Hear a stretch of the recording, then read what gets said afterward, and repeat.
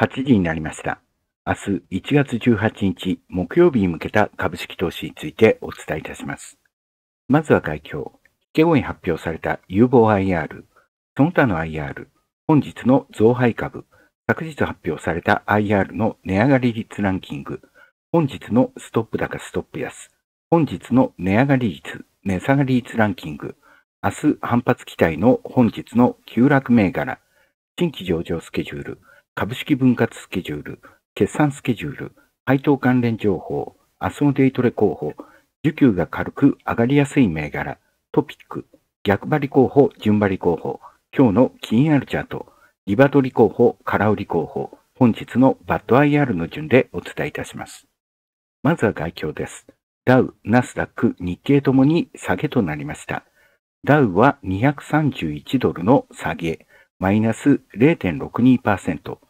ナスダックは28ポイントの下げ、マイナス0.19%。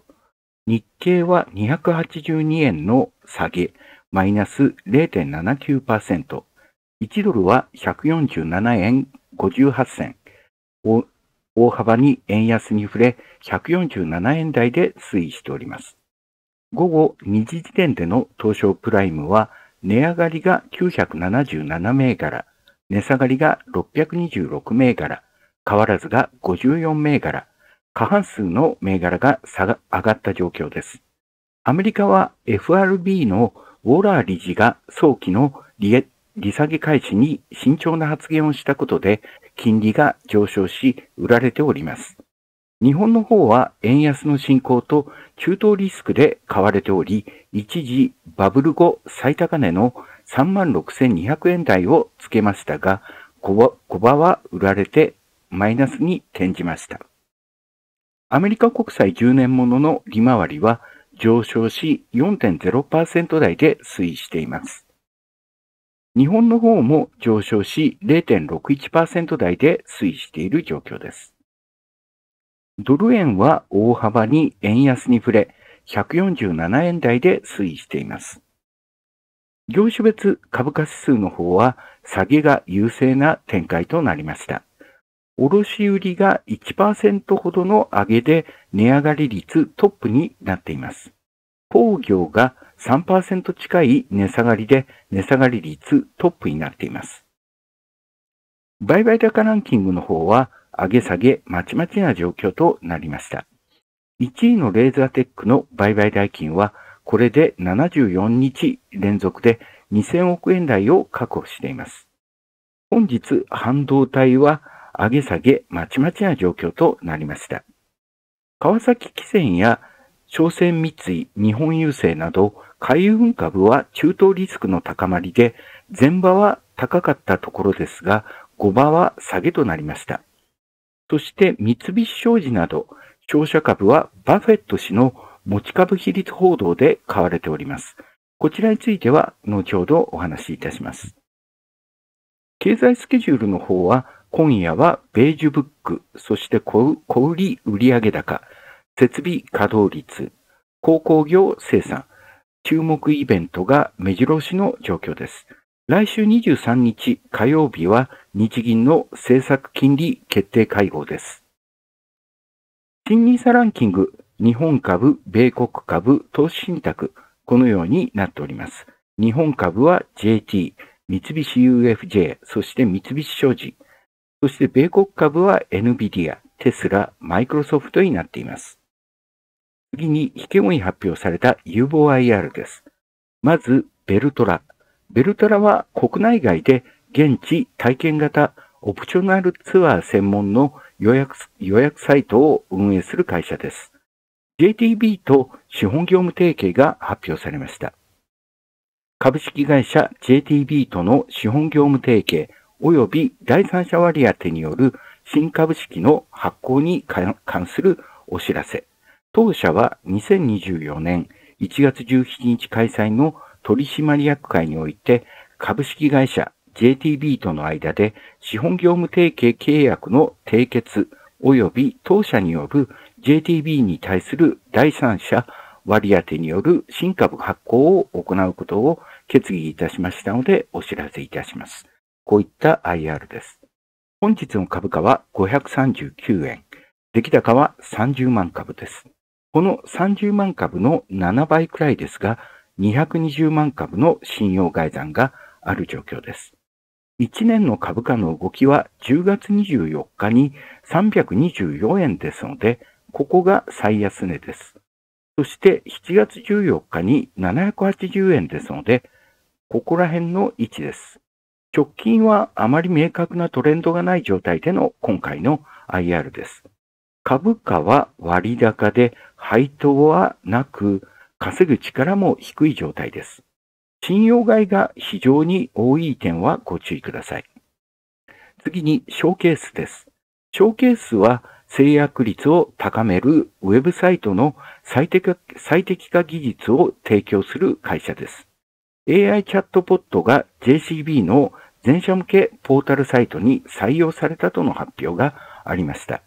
ショーケースがこの日の取引終了後、AI チャットポットサービス、おもてなしスイート CX が JCB の全社向けポータルサイトに採用されたと発表した。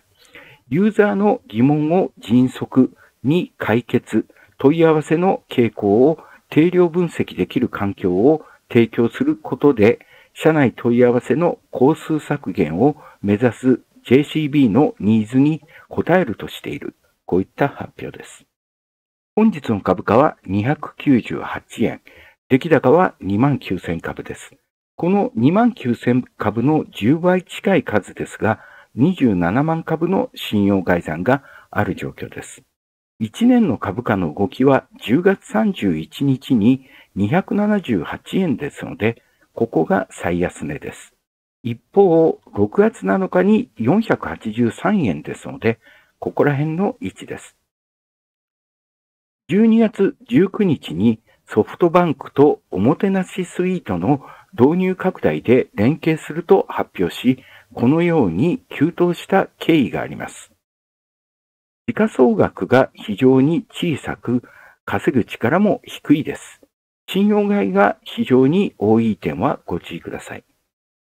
次に、メンタルヘルステクノロジーズです。メンタルヘルステクノロジーズは産業医を支援するクラウドサービスを提供する会社です。株式会社タスクフォースの子会社化という発表がなされました。このタスクフォースという会社は、介護補助者を中心とした人材サービスの会社で、約27億円の売上で、営業利益は約10%となっています。えー、取得に必要な23億円のうち22億円は、えー、みずほとリソナから調達するとなっていました。本日の株価は827円。出来高は6万9000株です。この6万9000株の5倍、5倍近い数ですが、32万株の信用概算がある状況です。1年の株価の動きは8月18日に694円ですので、ここら辺の位置です。そして2月3日に1520円ですので、かなり高い位置です。ここら辺の位置です。直近はあまり明確なトレンドがない状態での今回の IR です。株価は割高で、時価総額は非常に低く、配当もありませんが、稼ぐ力は非常に高いです。信用買いが多いという点はご注意ください。次に e ロジットです。自立,、えー、自立走行搬送ロボットを開発する中国企業と業務提携が発表されました。時間が間に合わず、そのまま貼り付けております。本日の株価は627円。出来高は3万9000株です。この3万9000株の20倍近い数ですが、56万株の信用概算がある状況です。1年の株価の動きは8月29日に418円ですので、ここら辺の位置です。そして10月12日に942円ですので、ここら辺の位置です。直近はあまり明確なトレンドがない状態での今回の IR です。時価総額が非常に低く、配当もありません。稼ぐ力も低い数値になっています。信用買いが多いという点はご注意ください。その他の IR です。本日 IR11 件出ております。上4件が今お話した内容です。この他に J リースが1対2、1対2の株式分割、そしてスタジオアリスは49%現役に下方修正、アートネイチャーは12月の月次売上は前年同期比1.3%減であるということ。そして白道は株主優待制度の基準日を従来の9月から3月に変更するということ。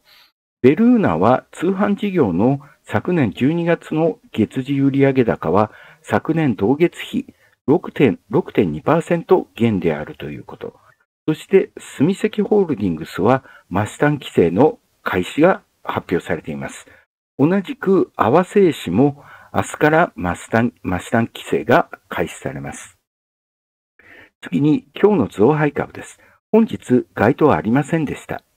次に、昨日発表された IR の値上がり率ランキングです。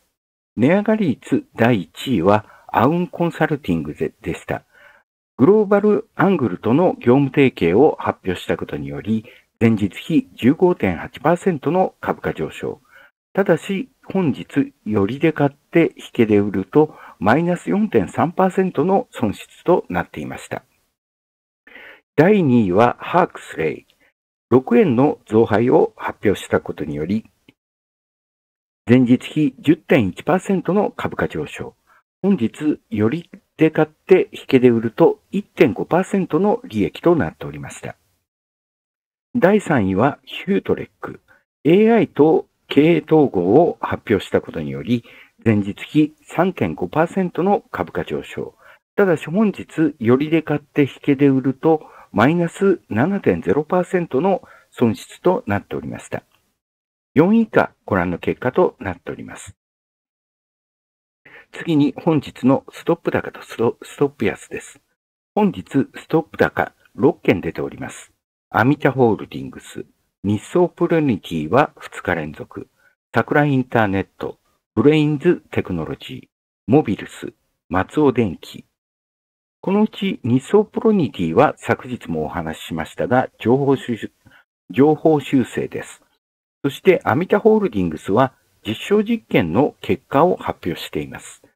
桜インターネットは生成 AI 関連銘柄の物色によるものです。そしてブレインズテクノロジーは桜インターネットとの実証実験を発表したことによるものです。そしてモビルスは NTT ネクシアの実証実験にオペレーション支援 AI を提供すると発表しています。松尾電機は中継を発表しています。本日ストップ安も1件出ております。データセデータセクション。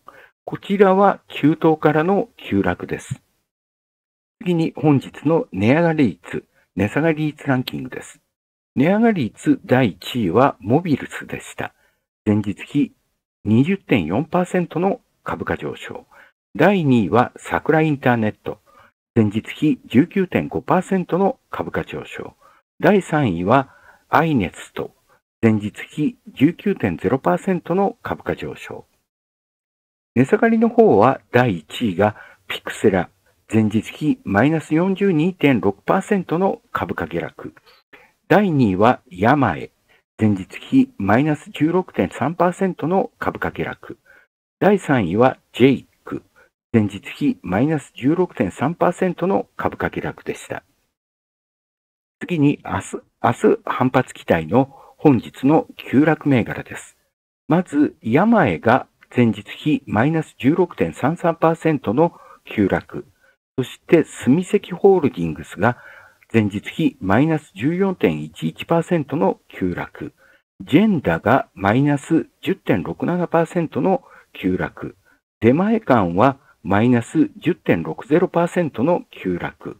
ハーモニックドライブは前日比マイナス8.44%の急落。そして松屋は前日比マイナス7.28%の急落となっています。まず、山へですが、こちらは公募増資の発表で下げています。チャートはこのようになっていて、本日マイナス16.33%の下げとなっています。そして、住積ホールディングス。こちらは明日からマスタンです。チャートはこのようになっていて、本日マイナス14.11%の急落。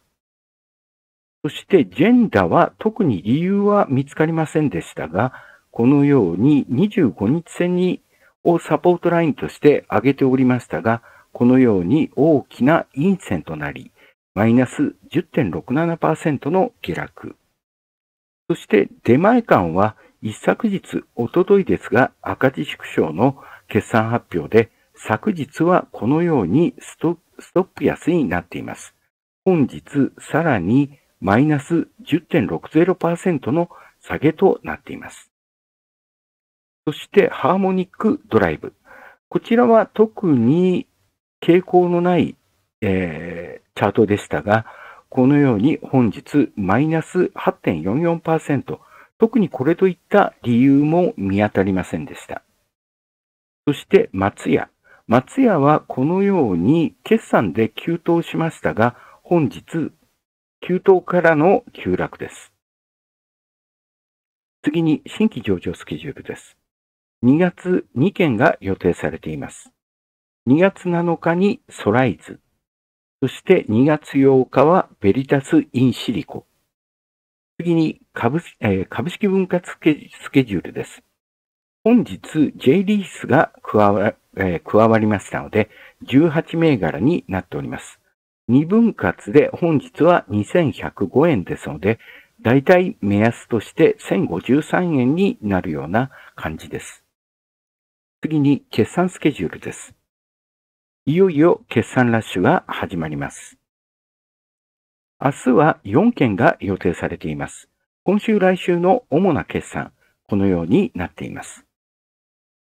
明日はすべて引き後の発表で、津田駒工業、ネクスグループ、H、AHC グループ、そしてブロンコビリー。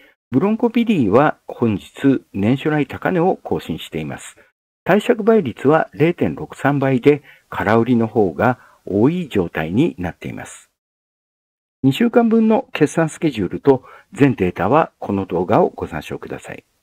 次に配当関連情報です。1月の高配当ランキング、年間配当ではこのようになっています。そして単月配当金での利回りランキング、このようになっています。2月の高配当ランキングは、年間配当金での利回りランキングはこのようになっています。単月配当金での利回りランキング、このようになっています。通年での高配当ランキング、全体ではこのようになっています。プライム市場で売買代金100億円以上の銘柄ではこのようなランキングになっています。詳細はこれらの動画をご参照ください。次にアソーデイトレ候補10選です。明日、場中で大きな値動きをしそうな銘柄としては、DD ホールディングス、霞ヶ関キャピタル、桜インターネット、アスマーク、ヌーラボ、メタリアル、SUS、FP パートナー、ウェルプレイドライゼスト、アイネット。このあたりが明日のデートレに向いてくるのではないかと思われます。次に、需給が軽く火が火がつけば上がりやすい環境の銘柄です。こちら、次回は1月23日に更新予定です。次にトピックです。まず、バフェット氏の件、そしてイオンとスカイラークの件、こちらについては、す、えー、で、にメンバーシップの方には展開した10銘柄のうちの2つです。そしてサスメドはたった3日でほぼ半年に急落したので、そのお話をいたします。まず、商社株、バフェット氏の持ち株比率上昇。こちらが本日の11時26分に出た記事です。商社株がしっかりバフェット氏の持ち株比率報道で、三菱商事、丸紅、住友商事、三井物産、伊藤忠商事の五大商事が軒並み上昇している。著名投資家ウォーレン・バフェット氏が率いる投資会社バークシャー・ハサウェイの投資投資先である五大商社について住友商事の CEO が持ち株比率を高めていると述べたと、アメリカの経済誌が報じ、材料視されている。三菱商事株は一時5%高の2598円で高値をつける場面があった。バークシャー・ハサウェイは昨年6月にも5大商社への持ち株比率を引き上げたことを明らかにし、長期保有が目的で出資比率を9.9%まで増やす可能性を示唆していた。市場では今年も日本株の再評価の流れが続いている。商社の業績はエネルギーコストの上昇や為替のドル高、円安で当面底堅いとされており、株価上昇は妥当との声があった。本日、三菱商事はこのようにプラス3.09%の上げ。そして丸紅はこのように1.74%の上げ。そして住友商事はプラス2えー、プラス0.24%の上げ。そして三井、三井物産はプラス0.74%の上げ。そして伊藤忠商事はプラス0.72%の上げとなっています。次にイオンとスカイラークがすごいについてお話しいたします。まずイオンですが、このように年初来、あ、年初発以来ずっと上げっぱなしの状態です。休営業日での上げ、そして昨日の下げ相場でも上がっていました。本日も、えー、日経下げましたが、このように上げております。本日はプラスの2.23%。年末の、年末こちらですね。えー、年末の3151円から9営業日で12%を超える株価上昇になっています。こちらですけれども、比較対象によく用いられるセブンアイを見る限り、特に業種的に上がっているというわけではありません。こちらはイオンの売上高と営業利益の推移です。コロナでの落ち込みもはありましたが、売上も利益も順調に回復し、5期ぶりに最高益を見込んでいる状態です。イオンは GMS そして小ぶりのスーパーマーケット、そしてドラッグストアをそれぞれ33.9%と27.4%、11.9%で売上が構成されています。スーパー系の事業で6割を占めますが、ドラッグストア系の事業でも10%を超える売り上げがある状態です。こちらがその推移ですが、大規模スーパーは自利品ですが、小規模スーパーと、そしてドラッグストア、この2つの伸びでカバーしている状態です。配当については、2021年、ここですね。ここ以降は増配はない状況です。現在の利回りは1%前後で、配当は非常に低い状態です。このため、年明けからの値上がりは高配当で買われているのではありません。次の優待も2月27日でかなり先です。こちらが1月12日に発表された決算です。今期計上を10%情報修正。5期ぶり最高益更新。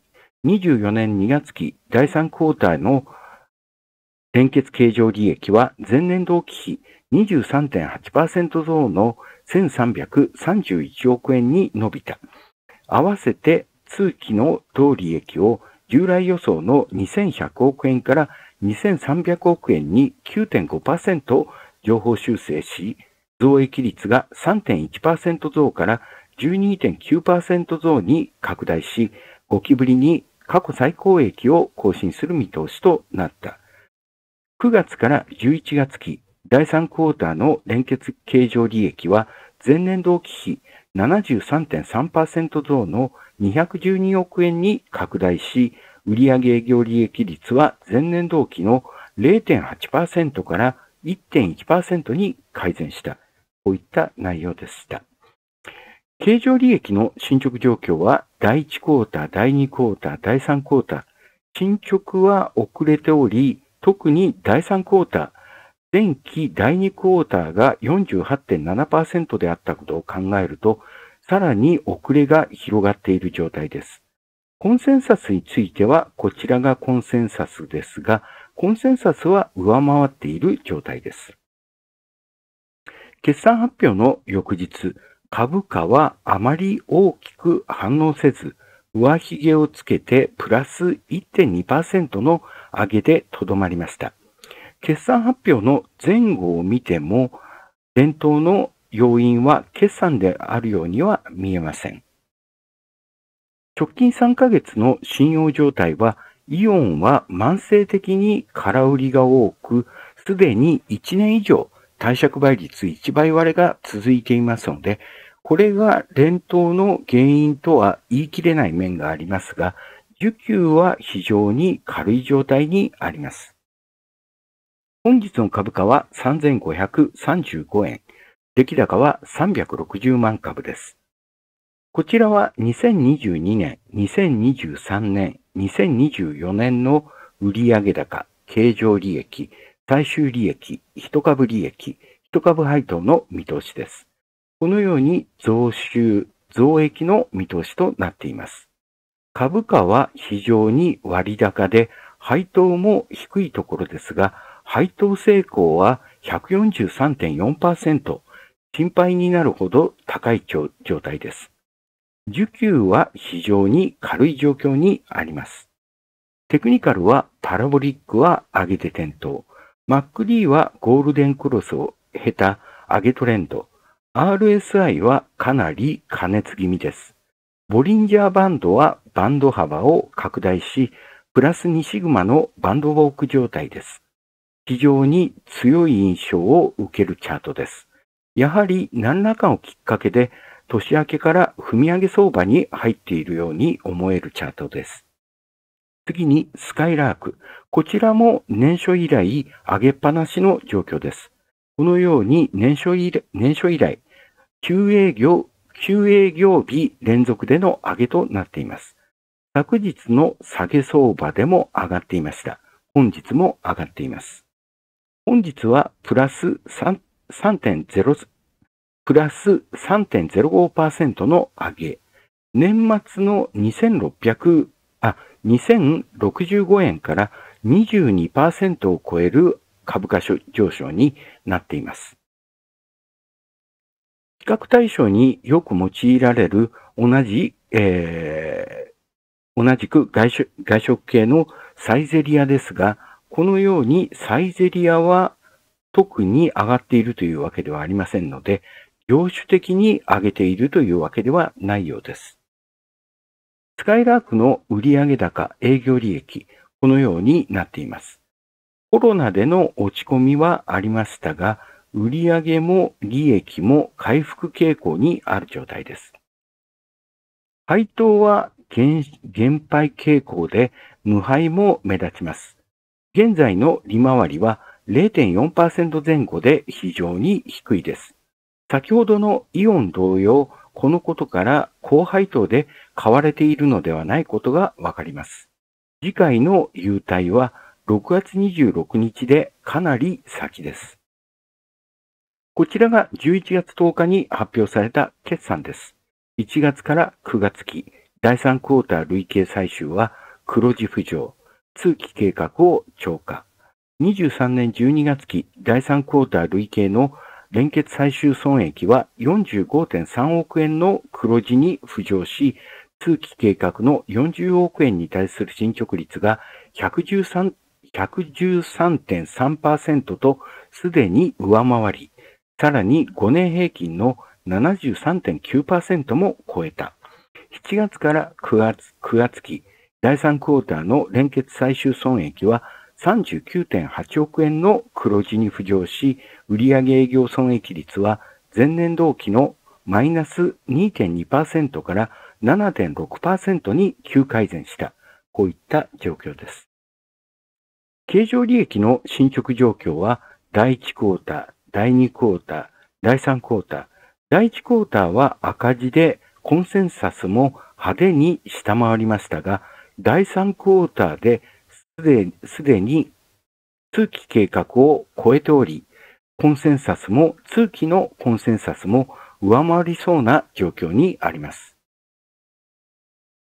決算発表の翌日、株価はあまり反応せず、プラス0.7%の上げでとどまっています。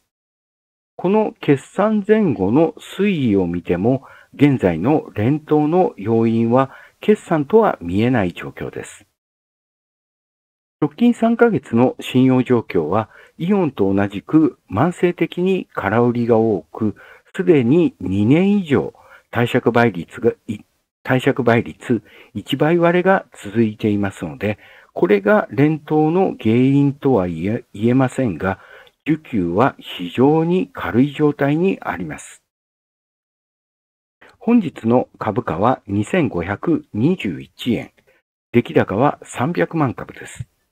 3年間の業績見通しは増収、増益で黒字転換の見通しです。そして配当も増配となっています。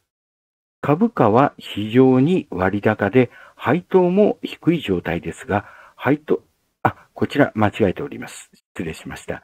配当成功、えー、出ておりません。そして、需給は非常に軽い状態にあります。テクニカルについては、パラボリックは上げで点灯。マックリーはゴールデンクロスを経た上げトレンドになっています。RSI はかなり加熱気味です。ボリンジャーバンドはバンド幅を拡大し、プラス2シグマのバンドボーク状態です。危険なほど強い印象を受ける印象、チャートです。やはりこちらも何らかのきっかけで年明けから踏み上げ相場に入ったように見えるチャートです。そして、えー、サスメド。こちらは反対にたった3日で半値に急落ししています。1月12日の1382円から本日799円、大きな急落です。こちらは昨日もお話した記事ですが、1月16日に、えー、厚生、えー、厚労省の資料で不眠障害アプリ、医薬的有用性が示されなかったという発表がされたことにより急落状態に入っています。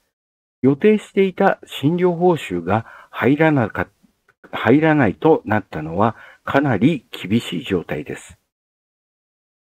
サスメドの売上ですが、このように売上、そして利益、ともに伸びていますが、利益自体はこのようにまだ赤字状態です。今回、診療報酬対象として認定されなかったのは非常に痛いところです。配当の方は上場以来、まだ無配が続いている状態です。こちらが11月10日に発表された決算です。7月から9月期、第1クォーター計上は赤字拡大。24年6月期、第1クォーターの計上損益は1億4500万円の赤字に赤字幅が拡大した。7月から9月期、第1クォーターの売上営業損益率は前年同期のマイナス293.5%からマイナス468.8%に急悪化した。こういった状態です。経常利益の進捗状況は通期計画が開示されていないので進捗自体はわからない状態ですが赤字で見込まれていたコンセンサスを大幅に上回る赤字拡大の状況です。決算発表の翌日、それまで続いていた下落基調のまま大きく変わることなく、マイナス1.9%の下落となっています。直近3ヶ月の信用状況は、空売りも信用買いも大きく変化はしていない状態ですが、通常8万株程度の出来高を銘柄で、80万株の信用買いは需給が重すぎるように思われます。本日の株価は799円。出来高は320万株です。3年間の業績見通しについては、2024年については開示されていない状態です。自己資本比率は非常に高いところですが、稼ぐ力は非常に低い銘柄です。需給は非常に重い状態になっています。テクニカルの方は、一目均衡は雲にちょうど衝突したところで急落しています。パラボリックは下げで点灯。そして、マック D はテッドクロスを形成して下げトレンド。RSI は20、20近辺で推移しています。ボリンジャーバンドはバンド幅を急拡大し、マイナス3シグマを超えて推移しています。テクニカルで何か言うのはかなり難しい状況の急急落状態です。次に今日の気になるチャートです。本日下げてる株、反転狙いの逆張り向けとして、クルーズ。こちらは2月13日の決算発表銘柄です。そして上げてる株、トレンドに乗る順張り向けとして、メガチップス。こちらは2月9日の決算発表予定銘柄です。まず上げてる株、メガチップス。メガチップスはカスタム LSI と画像伝送システムの研究開発ファブレスメーカーです。エンターテイメント分野、社債社債分野、産業機器分野に出荷しています。取引先の80%は任天堂になっています。こちらが直近の3ヶ月チャートですが、このように11月21日から立ち上がり、連日で年初来高値を更新している状態です。もう少しスパンを伸ばしてみると、このようにちょうど1年前の1月の下旬から上げており、株価は1年で2倍を超えている状態です。売上と営業利益については不安定な状態で2022年以降は低下傾向にも見えるところです。配当は2021年に17円から、あ、17円から80円に大きく増配しており、2024年については未定の状態です。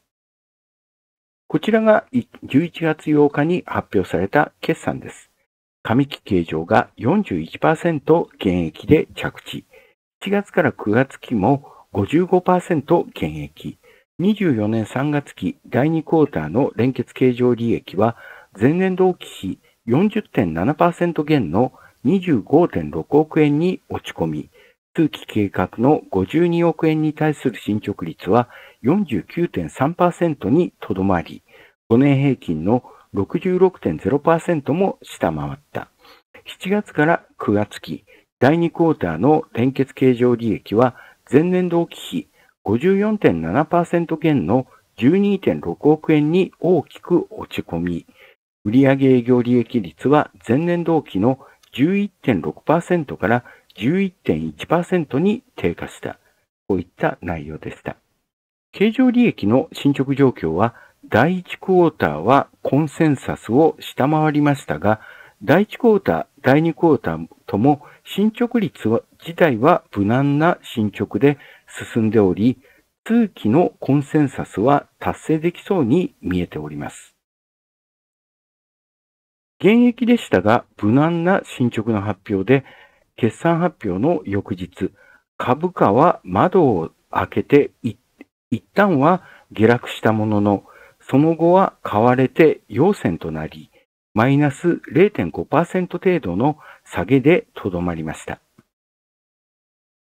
直近3ヶ月の信用状態は、決算、前回決算時は2倍ほどの貸借倍率でしたが、その後は空売りが増加したことで、需給は良化し、現在の貸借倍率は0.5倍に軽くなっています。